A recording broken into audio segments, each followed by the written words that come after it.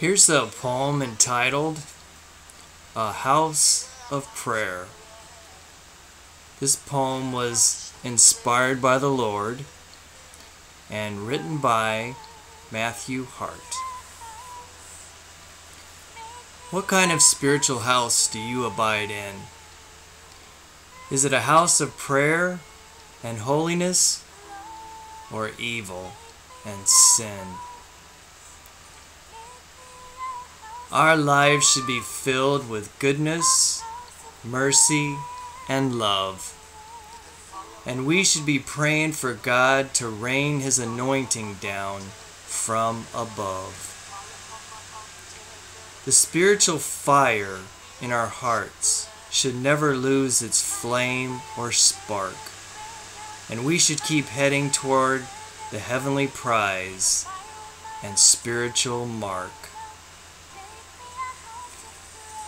The devil wants to keep your prayer life stagnant and stale because he knows it makes it harder for us to prevail. Prayer changes things and it can help pave a way to a bright and beautiful day. If you have a heart full of the Word and prayer, then you won't yield to worry, anxiety, or earthly care. Recently, I had an intercessory prayer come upon me, and it gave me a glimpse into something that God wanted me to see. The Lord allowed me to feel a great sense of grief, and when it departed, it was such a relief. I had these words coming to me The Holy Spirit is so grieved right now. And then the Lord began to show me the why and how. The Holy Spirit is grieved by man's sin and also their indifference to sin.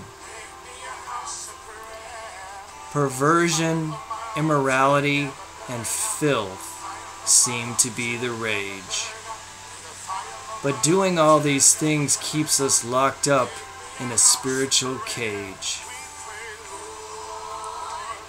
Christians should be grieved by all the things that are happening in our nation. And it should bother us unless we've fallen into spiritual complacency and stagnation. How can we say as a nation that we are walking in God's light if we keep allowing little babies to be aborted left and right? God's heart feels the heartache and pain so we need to repent so that we can feel God's latter rain. Did you know as a country we set a record of how many people died last year?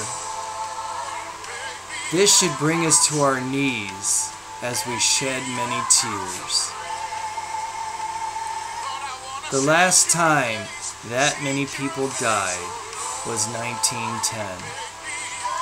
This should make us wonder why this is happening again.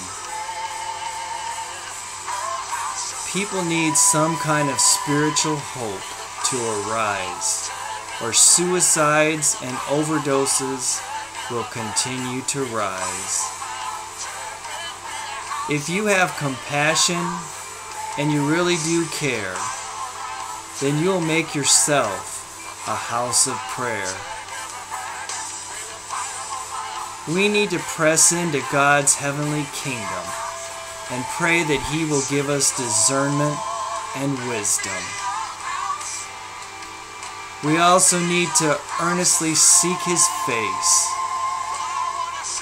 and cry out daily for His mercy, love, and grace.